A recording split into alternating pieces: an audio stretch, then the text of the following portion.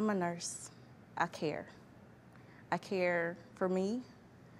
I would not put myself in danger first. I would not take Ebola to my family and my best girlfriends.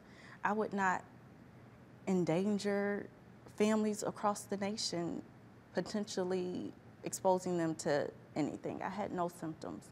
There was no way at that time I could not transmit it.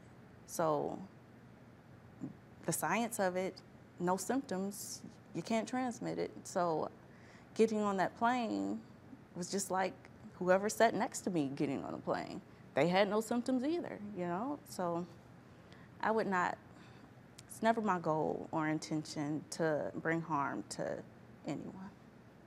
That really affected you. Yeah, Why?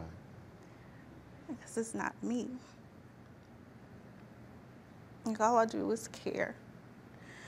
All I want to do is help. I'm, I would never try to hurt anyone. That hurt. It hurts when people say that. Yeah. Because it, it is so not me. So far beyond what who I am. I'm always caring. I'm always, you know, I put others before myself always.